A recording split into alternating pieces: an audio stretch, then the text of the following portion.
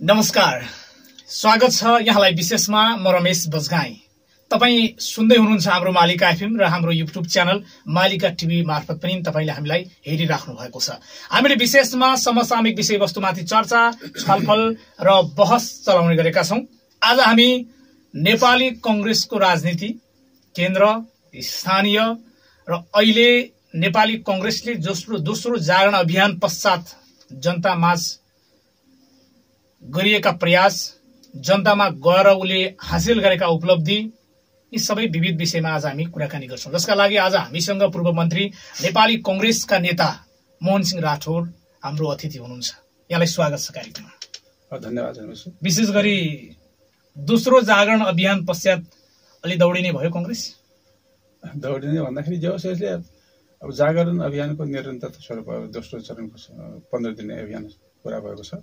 यसले स्वाभाविक रूपमा जागरण अब नामैले पनि अब कार्यकर्तालाई जगाउने एक खालको जनतामा पनि जागरण अब राजनीतिप्रति देश कता गइरहेको छ भन्ने कुरा अलिकति सचेत गराउँदै अब कङ्ग्रेसले लिने नीतिहरूको बारेमा आफ्नो नीतिहरू जनताको माझमा लैजाने एउटा अवसर मिल्यो। यसले पार्टीको सङ्गठनलाई सुदृढ गराउने कुरामा सहयोग नै पुर्याएको छ। तपाईँ अब केन्द्रमा बसेर पनि राजनीति गरिसकेका मान्छे अहिलेको ठ्याक्कै परिवेश जुन कम्युनिस्ट सरकार छ कङ्ग्रेसको दोस्रो जागरण अभियान छ यसबाट कतिपय उपलब्धिहरू हासिल पनि गर्नुभयो होला। अहिलेको यो ठ्याक्कै परिस्थितिलाई मूल्याङ्कन गर्दा विश्लेषण गर्दा कसरी गर्नु गर्नुभएको छ खास? सरकारको काम कारबाही र कङ्ग्रेसको भूमिका? अब सरकारको भूमिकाको सम्बन्धमा त धेरै नै गुनासो जनगुनासोहरू छ। असाध्यै धेरै आशा गरेर दुई तिहाको बहुमतको सरकारले अब हाम्रा सबै समस्याहरू हल गर्छ। आर्थिक सामाजिक रूपान्तरण हुन्छन् विकास हुन्छ सुशासन हुन्छ समृद्धि हुन्छ। यी सबै सपनाहरू बोकेर जनताहरूले दुई बहुमत पनि दिए तर ठिक त्यसको विपरीत सत्ता पक्षले ती आशा गरे अनुसार कुनै पनि क्षेत्रमा सन्तोषजनक नतिजा दिन सकेन। परिणामस्वरूप अब स्वाभाविक रूपमा जनताले विकल्प खोज्छन् र नेपाली कङ्ग्रेसले नै अब विकल्प दिन सक्छ कि भन्ने यो स्वत स्फूर्त रूपमा एउटा जनमत नेपाली काङ्ग्रेसको पक्षमा प्रभावित भएको अनुभूति भइरहेको छ। सरकारले गरेका यी राम्रा कामहरूलाई कङ्ग्रेसले राम्रो भन्न सक्दैन जस्तो चिनिया राष्ट्रपति आउनुभयो। अन्तर्राष्ट्रिय कतिपय सम्बन्धको हिसाबमा चाहिँ कहिल्यै नगरेको कुरा हामीले चाहिँ ऐतिहासिक भयो भनेर चाहिँ कम्युनिस्ट पार्टीको चाहिँ बैठकले नै निष्कर्ष निकाल्यो। त्यो निश्चित रूपमा यो चिनिया प्रधानमन्त्रीको राष्ट्रपति। राष्ट्रपतिको जुन ऊ छ नि भ्रमण यसले एउटा नेपालको राजनीतिमा भन्दा पनि विकासको पक्षमा केही सहयोग हुन्छ कि भन्ने आशा जगाएको छ यो राम्रो पक्ष हो सकारात्मक पक्ष हो हामीले प्रतिपक्षी भन्दैमा विरोधको लागि विरोध सबै राम्रा कुराको पनि विरोध गर्नु हुँदैन। तर सँगसँगै यो सबै यो हरेक कुराको दुईवटा पहलो हुन्छ दुईवटा पक्ष हुन्छ। उदाहरणको लागि अब अहिले सत्तासीन पार्टीले सी जिनपिङ बाद सिजन इजम उसको सिजनको एउटा नयाँ खालको दर्शन छ त्यसलाई हामीले अनुकरण गर्नुपर्छ भन्ने भान पर्ने गरी सारमा त्यस्तो प्रशिक्षणका भेलाहरू गरिरहेको त्यो खालको द्विपक्षीय हस्ताक्षरहरू गरेको नेपालका कतिपय चालिस जिल्लाका नगरपालिकाका मेयरहरू मैले सुनेको छु। उहाँ गएर प्रशिक्षण लिनुभएको। यहाँ पनि अब कम्युनिस्ट पार्टीका महत्त्वपूर्ण पदमा रहेका जिम्मेवार नेताहरू सङ्गठन विभागका प्रमुख विदेश विभागका प्रमुख स्कुल विभागका प्रमुखले पनि आएर नेपाली नेतालाई प्रशिक्षण दिएर अब चिनिया मोडलमा जानुपर्छ भन्ने ढङ्गको एक खालको जुन प्रशिक्षण दिएको भन्ने कुरा आएको। यसको दुईवटा कुरा छ। एउटा राजनीतिक हिसाबले हेर्दाखेरि यो असाध्य विकास हुनु नराम्रो। होइन। मैले विकासको पक्ष चाइना त विकासको पदमा भन्दा पनि तपाईँको अब अहिले त चाइनाको मोडल यदि यहीँ लागू भयो भने पनि विकास भयो त राम्रो भयो रमेश मैले यो विकासको पक्षलाई यो मोडललाई त्यसका दुईवटा पाटा छन् भने नि एउटा विकासको पाटो छ त्यसलाई हामीले अनुकरण गरेर हामी कहाँ पनि त्यस्ता त्यहाँको विकासको मोडलबाट हामीले शिक्षा लिएर छिटो छरितो ढङ्गले आफ्ना विकास आयोजनाहरू सम्पन्न गर्नुपर्छ भन्ने खालको शिक्षाले पनि एकदम सकारात्मक पक्ष हो। साथसाथै चिनिया सरकारबाट मित्र राष्ट्रको हैसियतले हामीलाई कतिपय कुरामा सहयोग गर्नु वचनबद्धता दिनु त्यो पनि हाम्रो लागि उपलब्धिमूलक कुरा नै हो। तर मैले भन्नु खोजेको अर्को पाटो छ हरेक कुराका दुईवटा पाटोहरू हुन्छन् दुईवटा पक्षहरू हुन्छन्। विकासको पक्षमा यो एकदमै सकारात्मक भएको छ। तर सँगसँगै राजनीतिक पक्षबाट जुन आशंका गरेको छ यो डरलाग्दो पक्ष छ भन्ने मलाई लाग्छ। जस्तो सिजन पिन बादमा त्यो विकासको मोडललाई अनुकरण गर्दै गर्दा यदि अब राजनीतिक ढङ्गले पनि अब मा चिनको मोडलमा सिजन पिनको मोडलमा जानुपर्छ भन्ने खालको यदि त्यो राजनीतिक लाइन यदि हाम्रो सत्ता पक्षले कम्युनिस्ट पार्टीले लिन्छ भने त्यो फेरि अत्यन्तै डरलाग्दो हुन्छ भन्ने मलाई लाग्छ। किनभने एकातिर तत्कालीन नेकपा एमाले र तत्कालीन नेकपा माओवादीको जुन जनताको बहुदलीय जनवाद र एक्काइसौँ शताब्दीको जनवादको फ्युजन गरेर यसको विकासको पाटो त बेग्लै छ। राजनीति पक्षमा जुन मार्ग निर्देशक सिद्धान्त के हुन्छ भन्दा जनताको बहुदलीय जनवादको सट्टा जनताको जनवाद भन्ने कुरा ल्याएर बहुदलीय शब्द शब्दावली नै गाड भयो। एकातिर यस्तो भइरहेको छ। यसको तात्पर्य के भनेदेखि कतै कम्युनिस्ट पार्टी फेरि चिनको राजनीतिक मोडलमा गएर एकदलीय शासन प्रणालीमा जाने हो कि नेपालमा सम्भव छ त्यो। एक दलीय किनभने संसदीय अभ्यासमा त नेपाली कंग्रेस पनि छ। तपाईँले चुनाव लडेर अहिले दोस्रो भए पनि पछि पहिलो होला। त्यो फरकदार नेपाली नेपाली राजनीति र नेपालको भूगोलको हिसाबमा चाइना जस्तो मोडेल जाला भन्ने किन शङ्का गरेको होइन होइन। एकातिर कस्तो भनेदेखि जाला जान नजाओस् भन्ने कुरो सतर्कता त अपनाउनु पर्छ हिजोको निरङ्कुश तन्त्र त जनताले उखेलेर फ्यालिदिएको उदाहरण जगजाहेर छ नि कंग्रेसका सामुन्यमा छैन। यो झन्डै तपाईँको सात दशक तपाईँ राजनीतिमा सक्रिय नेपाली कंग्रेसको पृष्ठभूमि छ। यो जना जहानी राणा शासन पञ्चायत र निरङ्कुश राजतन्त्र फ्यालेको त यही कंग्रेस हो नि। हो। त्यसैले त हामी यो यसमा अलिक सतर्कता साथ यो पक्षलाई हेर्नुपर्छ भन्ने खोजा मात्र हो। सतर्कतापूर्वक। किनभने एकातिर नेपाल कम्युनिस्ट पार्टीले जनताको बहुदलीय जनवादबाट बहुदलीयता शब्द नै गायब गर्नु। व्यवहारमा त हिजो पनि त्यो थिएन नै। वास्तवमा आज कमसेकम अ, मार्ग निर्देशक सिद्धान्तको रूपमा यसले स्वीकार गरेको छ र त्यो निर्देशक सिद्धान्तमा अझै पनि छ भन्ने यथावत थियो। तर एकातिर त्यो शब्द बहुदलीयतालाई हराउनु हटाउनु र अर्कोतिरबाट सिजनवादको जुन विकासको नाममा विकासको साथसाथै त राजनीतिक मोडललाई पनि कतै अनुकरण नगरोस् भन्ने खबरदारी गर्नुपर्छ भन्ने खोजा हो। अनुकरण गर्न गर्न उहाँहरू गर्दै गर्न चाहँदै हुनुहुन्छ। भन्नु खोजा पनि होइन। नगरियोस् एउटै एउटै। सिद्धान्त मिल्ने भावना मिल्ने पार्टी बीचमा अलिअलि चाहिँ नजिक सम्बन्ध हुनु त स्वाभाविक रूपमा लिन त्यो त स्वाभाविक रूपमा त्यो हुन्छ। यो विचार मिल्ने पार्टीहरूको बिचमा सरकारको बिचमा दौत्य सम्बन्ध हुन्छ किनभने हिजो कंग्रेसकै राजनीति पनि विश्वेश्वर प्रसाद कोइराला भारतमा बसेर महात्मा गान्धीको आन्दोलनमा सहभागी हुनुभयो। तर त्यो भारतकै मोडल त नेपालमा लागू भएन नि। त्यस्तो मोडल हुबहु लागु लागु हुन्छ भन्ने कुरा पनि होइन नहोस् भन्ने कुरा सतर्कता अप्नाउनु पर्छ। त्यसको त्यो पाटो पनि अनदेखा गर्नुहुन्न भन्नु खोजेको मात्रै हो मैले। त्यो पक्ष पनि छ त्यो पाटो पनि छ। कतै चिनको जस्तै विकासको नाममा विकासको साथसाथै अब सिजन पिनवाद भनिकन माओवाद हुँदा हुँदै सिजन पिनवाद अब डेङ सेवापिङ पछि अब सिजनको उदय भयो। उनले अब पूर्व विकासको अवधारणा अगाडि ल्याए। उनकै विचारअनुसार अब यो विश्वमा एउटा उदयमान शक्तिको रूपमा भनौँ अथवा दोस्रो शक्तिको रूपमा उदय भएको छ। अब हामी पनि यही मोडमा जानुपर्छ। विकासको मोडल त यो अनुकरण गऱ्यौँ गऱ्यौँ। अब राजनीतिक मोड पनि यसैमा जानुपर्छ भन्ने आयो भने त्यो हाम्रो दुर्भाग्य हुन्छ भन्न खोजा मात्रै यो सचेतता गराउनु पर्ने सतर्कता अपनाउनु पर्ने हाम्रो प्रतिपक्ष पार्टीको स्वाभाविक धर्म पनि हो। राठौरजी तपाईँ चाहिँ अब अहिले जसरी स्थानीय राजनीतिमा सक्रिय भइराख्नु भएको छ जिल्ला तहका राजनीतिमा तपाईँ नेताहरूसँग भेटघाट गरिराख्नु भएको छ। हजुर। कंग्रेसको रुख मोहन सिंह राठौर आइपुगेपछि अहिलेको परिवेशमा के मलजल पाएर ठुलो बने हो? हाँगा झाँगेका हुन्। निश्चित रूपमा या रुख चाहिँ फल्नबाट अलिकता हुर्किनबाट गाह्रो भइरहेको परिवेश छ? मेरो आफ्नो बुझाइमा के हो भने त्यो अब स्वतन्त्र रूपमा के गर्ने भन्ने लाग्छ? तपाईँ आफ्नो हुन्छ नि। त्यही भनिरहेको छु रमेश एकछिन के हो भनेदेखि समग्र रूपमा मैले सुरुमै हाम- हामीले चर्चा गरे जस्तै अहिलेको सरकारबाट अपेक्षा गरे अनुसारका कामहरू नभएको कारणले निराशा छुँदैछ। त्यसको विकल्पको रूपमा नेपाली काङ्ग्रेसलाई अब फेरि अगाडि ल्याउनुपर्छ भने जनमत यो त स्वत केही विकास भइरहेको अवस्था एकातिर छँदैछ। त्यसपछि म अब जहाँसम्म मैले तपाईँलाई आइसकेपछि यो रुख चिन्ह अर्थात् काङ्ग्रेसको सङ्गठनलाई केही वृद्धि गर्ने काम गर्नुभयो कि के अवस्था छ भन्नुहुन्छ भने मलाई लाग्छ यो अवधिमा पार्टी केन्द्रले दिएका जागरण अभियान जिल्लाले दिएका अभियानहरूमा म निरन्तर लागेको छु र मैले आफ्नो व्यक्तिको एउटा व्यक्तिगत रूपमा पनि क्षमताले भ्याएसम्म समयले भ्याएसम्म मैले अधिकतम समय दिएको छु र मैले आइसकेपछि केही न केही मैले थप योगदान पुर्याएको छु र खास गरी अब कैलाली जिल्लामा क्षेत्र नम्बर दुईमा कङ्ग्रेसको सङ्गठन हिजोको भन्दा अझ राम्रो भएको छ भन्ने मेरो बुझाइ छ र मेरो मात्रै बुझाइ होइन कि अब आम रूपमा हेर्दाखेरि पार्टीभित्रका साथीहरू पनि उत्साहित हुनुहुन्छ। मलजल हाल्नुभयो रुखमा? हाले। मलजल पनि हाले। अब त्यो गोडमेल पनि गर्दैछु। रुख मोटाएको अवस्था हो राजनीतिक भाषा भन्दा। त्यो मोटाएको अवस्था देखिन्छ। तर दोस्रो जागरण अभियान पश्चात पनि जस्तो तपाईँहरू गुटो बुगोटको कुरा गर्नुहुन्थ्यो नि। गुट अन्त्य भयो जनतामाझ हामी गयौँ अब एक भयौँ। तर कहीँ न कहीँ कार्यकर्ता बिचमा अहिले पनि किन त्यो गुटो बुगोट जस्तो बचिराखेको त्यस्तो देखा पर्छ। यो त अब निर्मूल हुनलाई समय लाग्ला हेर्नुहोस् कि गुट उपगुटको अब हरेक पार्टीमा गुटहरू उपगुटहरू छन् हुन्छन्। यो स्वाभाविक हो पनि भन्छन् साथीहरू। तर के भन्छ भनेदेखि ठिक छ। एउटा अब नेतृत्वलाई छनौट गर्ने कुरामा अथवा कुनै नीतिलाई छलफल गरिकन एउटा पारित गर्ने सवालमा मत भिन्नताहरू हुन सक्छन् स्वाभाविक रूपमा। यदि ठुलो पार्टीमा सबैले एउटै मत हुनुपर्छ भन्दाखेरि त फेरि सिजन पितबातको त्यो राजनीतिक मोडलमा हामी गइहाल्छौँ होइन एक भयो हामी चाहिँ अब राम्रो भयो दोस्रो जागरण पछि त हो। भन्ने तपाईँहरूको त्यो विश्लेषण र निष्कर्ष पनि थियो नि। तर स्थानीय राजनीतिमा पनि त्यो देखिँदैन। हिजोको तपाईँको त्यो चियापान कार्यक्रममा लम्कीको चियापान कार्यक्रममा पनि भयो नि त्यो के नि त्यो नेताहरूले के के कुरा बोले। असन्तुष्टका कुराहरू राखे। स्वाभाविक छ। त्यो देखियो असन्तुष्टि देखियो होइन? पोखियो देखियो मात्र होइन पोखियो कार्यकर्ता बीचमा कारवाहीका पत्रहरू पनि आए। त्यो स्वाभाविक छ हेर्नुहोस् अब त्यो त अब त्यो कारवाहीको पक्ष अब जुनसुकै तपाईँहरूले गुनासो गर्नुभयो भन्ने छ नि त। त्यो अस्तिको चियापान समारोहमा। बीचमा किन त्यो कुरा छलफल निस्क्या?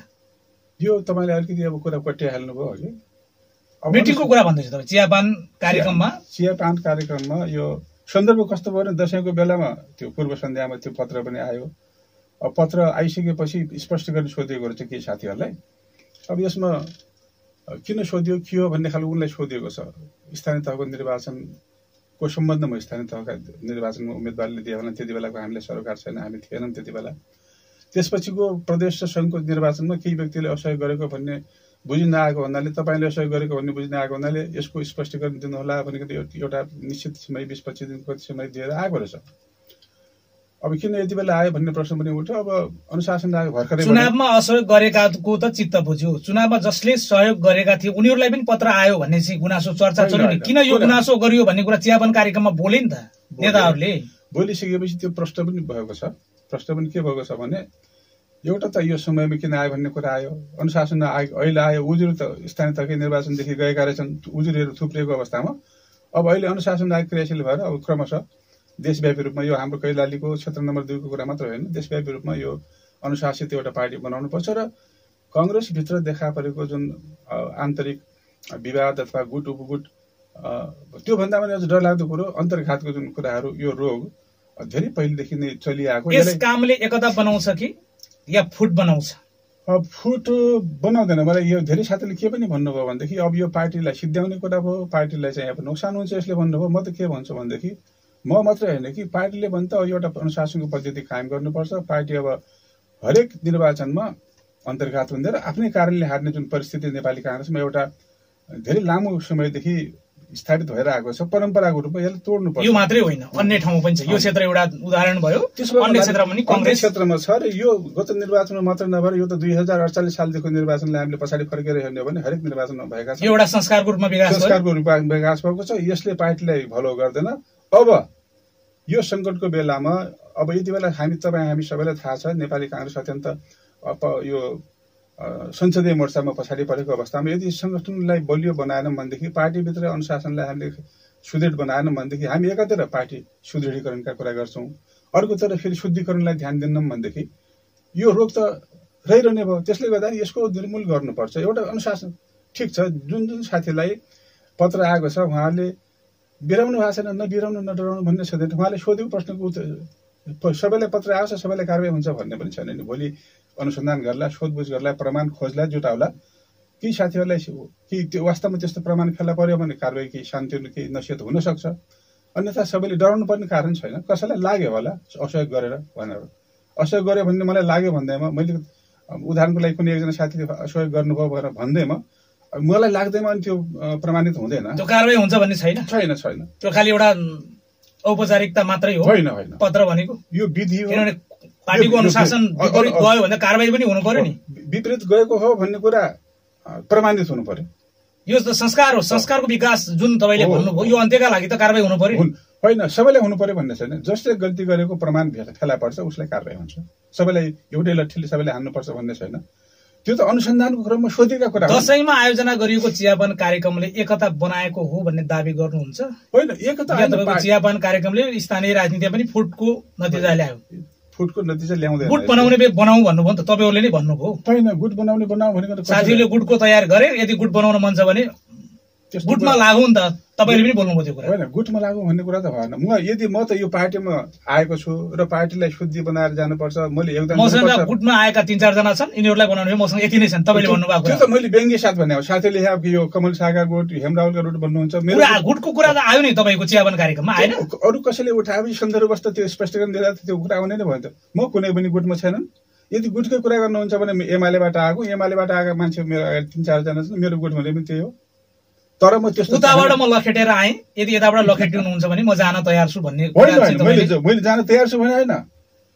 कसैले लखेट्यो भन्दैमा म त हिजोको परिस्थितिमा विशेष परिस्थितिमा आएको मान्छे हो। त्यो भन्नुपर्ने परिस्थिति किन आइपुग्यो। मोहन सिंह चाहिँ किन। तपाईँ त जबरजस्त नेता। कङ्ग्रेसमा अहिले ए भन्यो भने संगठनको हिसाबमा पनि झन्डै झन्डै तपाईँ चुनाव जितिसकेको हिसाबमा जुन। नतिजा आयो नि। अहिले ठिक कुरा भन्नुभयो।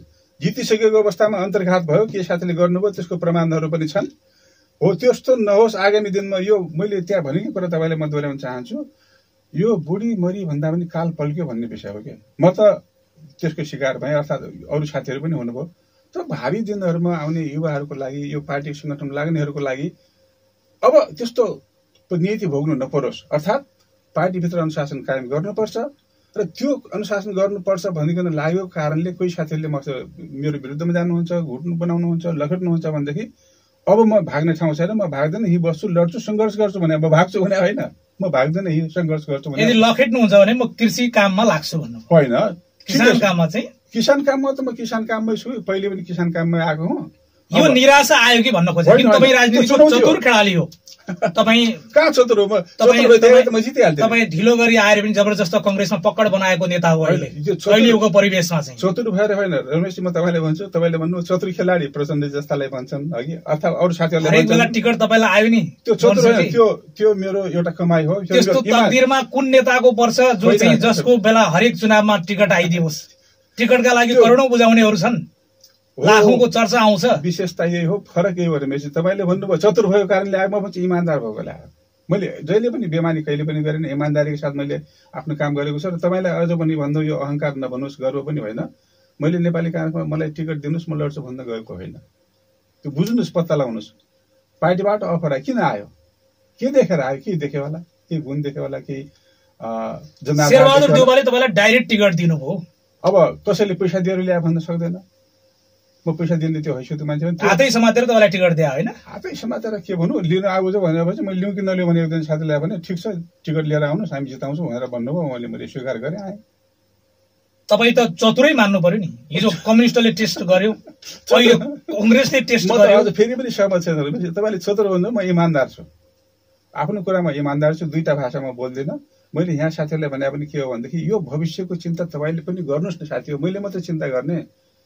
तपाईँले बनाएको पार्टी हो म त हिजो आएको पाहुना जस्तो भर्खर नयाँ तब नयाँ साथीहरूले बिगार्न लाग्यो भन्नुभयो नि केही साथीले दोष लाउनु भयो मलाई। मैले भने दोष नलगाउनुहोस् मैले पार्टीलाई बलियो बनाउनुको लागि शुद्धिकरण हुनुपर्छ। सुदृढीकरण मात्र होइन सुदृढीकरण बनाउनु तपाईँ भन्नुहुन्छ एकातिर अनि शुद्धिकरणको विरोध गर्नुहुन्छ भने चाहिँ शुद्ध हुँदैन सुदृढीकरण हुँदैन। यदि साँच्चीकै सुदृढीकरण गर्ने हो भने शुद्धिकरण गर्नुपर्छ। शुद्धिकरण भनेको पार्टीभित्रका गलत प्रवृत्तिको अन्त्य गर्नुपर्छ। त्यसलाई कसले गर्छ? अनुशासनले गर्छ। र त्यसले गर्दा के साथीहरूलाई अनुशासन कारवाही हुन्छ भन्ने डरले यदि तपाईँले गुटबन्दी भने फेरि मलाई नै दोषी देखाएर लेख्न खोज्नुहुन्छ भनेदेखि म कहीँ भाग्नेवाला छैन। म यहीँ बस्छु यहीँभित्र लड्छु। अब त्यति गर्दाखेरि पनि सफल भएन। म अन्तिममा अब के त अब तपाईँहरूको तपाईँहरू आफ्नो तपाईँको सम्हाल्नुहोस्। म त आफ्नो गरी खाउन केही छैन। मेरो त अब त्यही जीविका गर्ने त्यही एउटा खेती किसानी छ। हिजो पनि राजनीति गर्छु नेता बन्छु टिकट चुनाव लिएर चुनाव लड्छु भनेर आएकै होइन।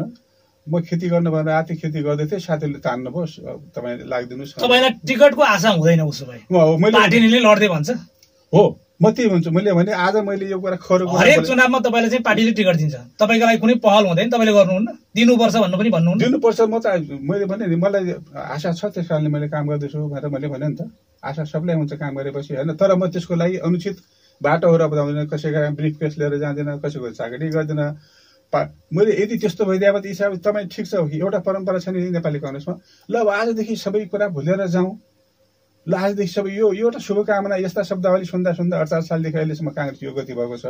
अब ठोस रूपमा लाग्नुपर्छ।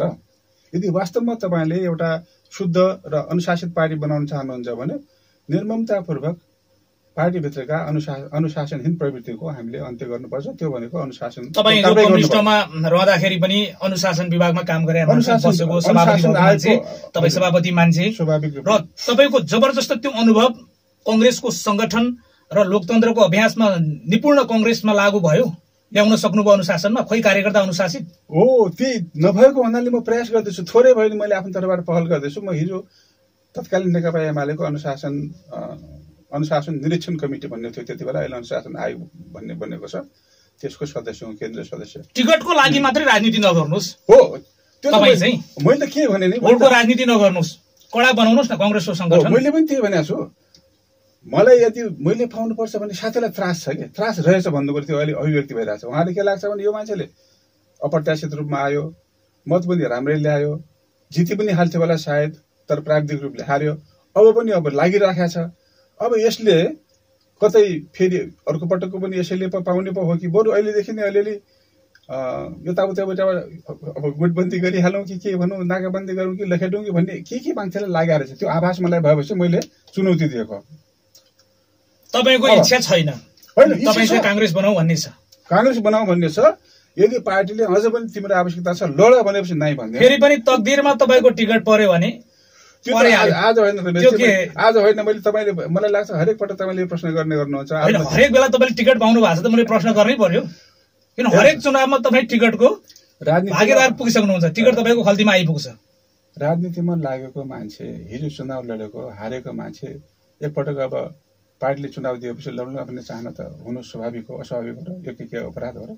तर मैले राजनीतिमा मात्र होइन। राजनीतिमा तपाईँ सफल कि चतुर कि अवसरवादी म अब आफूले सफल भन्ने भन्दैन किनभने सफलताको मापदण्डलाई हेर्ने हो भने अहिलेको मापदण्डलाई हेर्ने भने असफल। भन्नेले अवसरवादी भनिदियो भने। हो, अवसरवादीको त मलाई थाहा अवसर भइदिए त नेपाली काङ्ग्रेसमा अडचालिस सालमै राख्थ्यो नि जुन बेला अवसरै अवसर थियो।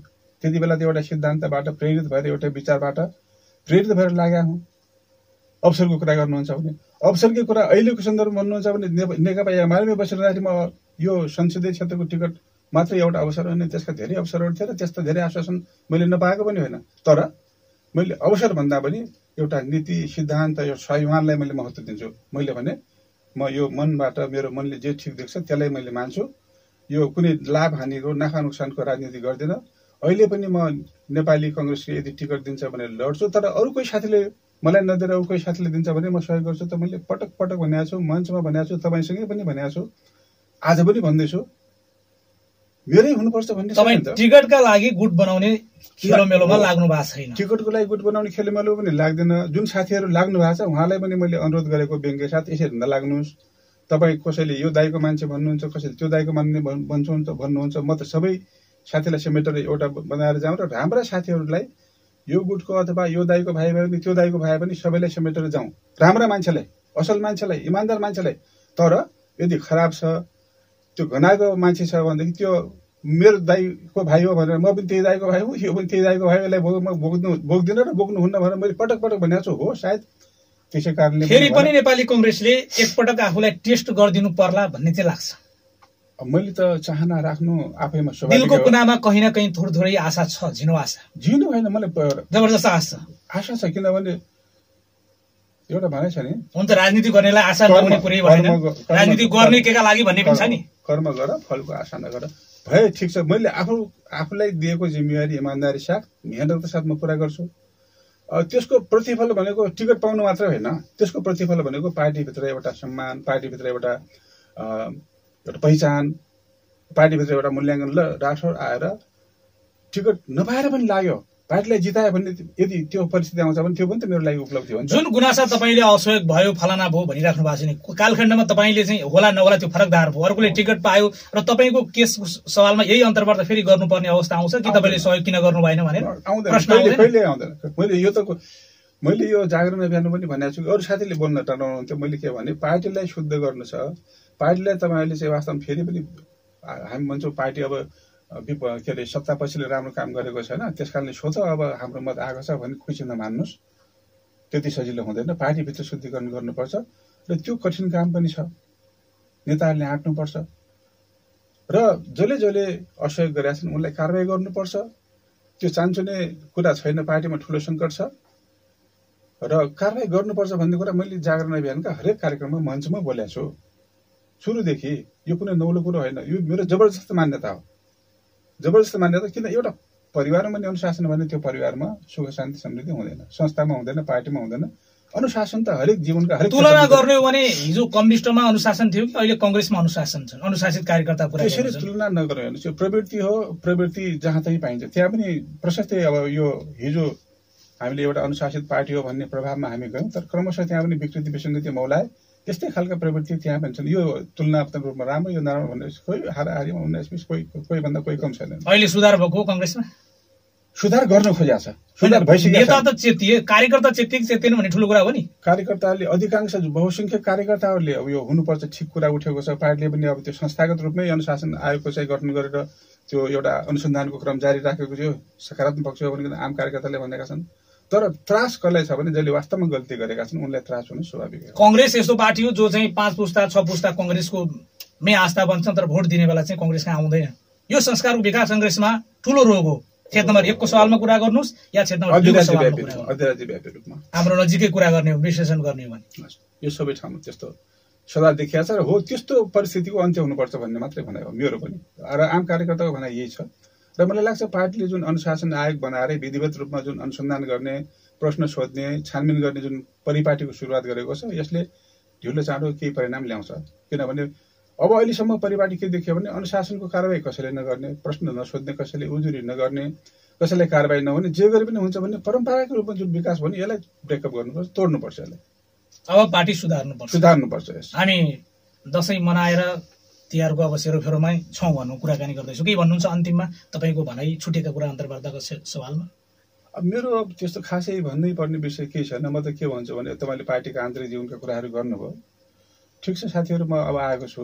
मैले मञ्चमा पनि त्यही बोलेको छु। मैले कसैलाई व्यक्तिगत रूपमा कुनै हानि नोक्सानी पुर्याउने कुरा पनि छैन। सबैले हामी इमान्दारीसँग लागौँ। सङ्गठन बलियो भयो भनेदेखि अब हामी सबैको भविष्य बन्छ। अब सङ्गठनमा एकले अर्कालाई घात अन्तर्घात गर्ने गऱ्यौँ भनेदेखि यो रोग कहिले पनि निको हुँदैन र पार्टी पनि कमजोर हुन्छ र हामी पनि कमजोर हुन्छौँ। त्यसो भएको हुनाले यो विजयादशमी दीपावली चाडबाड भनेको त हाम्रो आपसमा के भन्छ मनमुटावलाई हटाउने एकता कायम गर्ने सद्भाव विकास गर्ने अवसरहरू हुन्। आफ्ना कमजोरीलाई सुधार्ने। सुधार्ने यी अवसरहरू हुन्। यो अवसरको सदुपयोग गरौँ न हामी इमान्दारीका साथ लागौँ। इमान्दारीका साथ लाग्यौँ भनेदेखि भविष्य छ नेपाली काङ्ग्रेसको भविष्य। किनभने एउटा स्लोगनमा पनि भनेको छ यसको गौरवमय इतिहास छ वर्तमान पनि चुनौतीपूर्ण छ तर अवसर पनि छन् सम्भावना पनि छन्। त्यसो भएको हुनाले हामीले भोलिका अवसरहरूलाई हामीले हेरौँ किनभने जनता यो व्यक्तिगत रूपमा आफ्नो लागि पदको लागि भन्दा पनि देश र जनताको यदि वास्तवमा सही मानेमा हामी केही परिवर्तन चाहन्छौँ सामाजिक आर्थिक रूपान्तरण चाहन्छौँ भनेदेखि यो पार्टीलाई बलियो बनाउनुपर्छ पार्टी नेतृत्वलाई बलियो बनाउनुपर्छ पार्टीले सङ्गठनलाई बलियो बनाउनुपर्छ त्यसको लागि सुदृढीकरण अभियान जुन सञ्चालन गरिएको छ पार्टीले यो अत्यन्त राम्रो छ। यसको निरन्तरता पाउनुपर्छ मलाई लाग्छ तेस्रो चरणको जागरण अभियान पनि सञ्चालन हुनेछ। त्यसको साथसाथै यदि सुदृढीकरणको कुरा गर्छौँ भने शुद्धिकरण पनि हुनु जरुरी छ। यो मैले सुरुदेखि नै भन्दै आएको विषय हो। निर्वाचनको सकिए लगत्तै भन्दै आएको विषय हो। मञ्चमा अन्तर्वार्तामा व्यक्तिगत भेटघाटमा जागरण अभियानको क्रममा पनि हरेक ठाउँमा मैले भनेको छु। त्यही भएर केही साथीहरू मदेखि अलिकति सशङ्कित हुनुहुन्छ कतै हामीलाई अब मैले गर्ने होइन विधिले गर्ने हो। विधि स्थापित भएको छ त्यो खुसीको कुरा हो। त्यसले गर्दा कोही साथीहरूले पनि यसमा यो जुन घटनाक्रम भएको छ मलाई लाग्छ हिजोको दिनमा पनि जुन कार्यक्रममा केही कुराहरू उठ्यो स्वाभाविक छ। चित्त नबुझाएको कुरा साथीले उठ्नुपर्छ। मन बाँझिन जरुरी मज मार्न जरुरी छ। हामीले एकताबद्ध भएर जानुको विकल्प छैन। जसले जिते पनि कङ्ग्रेस बनाउन जरुरी छ। कङ्ग्रेस बनाउने हो चाहे जुनसुकै नेताले पनि तपाईँले धेरै पटक सोधिसक्नु भएको छ। तपाईँ आफूले टिकट पाए सहयोग गर्ने नत्र नगर्ने हो कि टिकट तपाईँले पाउने कि होइन टिकटलाई तपाईँ मरिमिटर लाग्नुहुन्छ। म केही गर्दिनँ? म काम गर्छु। पार्टी सङ्गठन बनाउनलाई काम गर्छु गरिरहेको छु। ती साथीहरूले देखाएको छन् कार्यकर्ताले देखाएको छन् तपाईँहरू जस्तो स्वतन्त्र पत्रकारले पनि देख्नु भएको छ।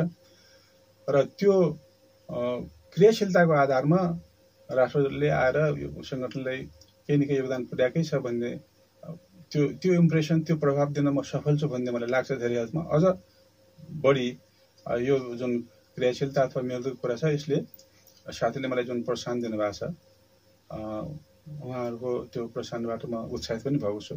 अझ बढी समय दिएर लागु भन्ने भावना पनि विकास भएको छ। कार्यक्रममा आउनुभयो यहाँलाई धेरै धेरै धन्यवाद। धन्यवाद छ रमेशजी मलाई पनि आफ्नो कुरा राख्ने अवसर दिनुभयो। आदरणीय श्रोता अनि दर्शक महानुभावहरू आज हामीले नेपाली कङ्ग्रेसको राजनीति स्थानीय केन्द्र र अहिलेको आन्तरिक जीवनमा पनि कङ्ग्रेसका एजेन्डाहरू के चल्दैछन् कार्यकर्ता माझमा भन्ने सवालमा कुराकानी गर्यौं। जसका लागि आज हामीसँग पूर्व मन्त्री नेपाली कङ्ग्रेसका नेता मोहन सिंह राठौर आज हाम्रो अतिथि हुनुहुन्थ्यो। उहाँलाई विशेष धन्यवाद। हेरिदिनुभयो सबैलाई धन्यवाद। रमेश बजगाई आजको यो कार्यक्रमबाट बिदा चाहन्छु। नमस्कार।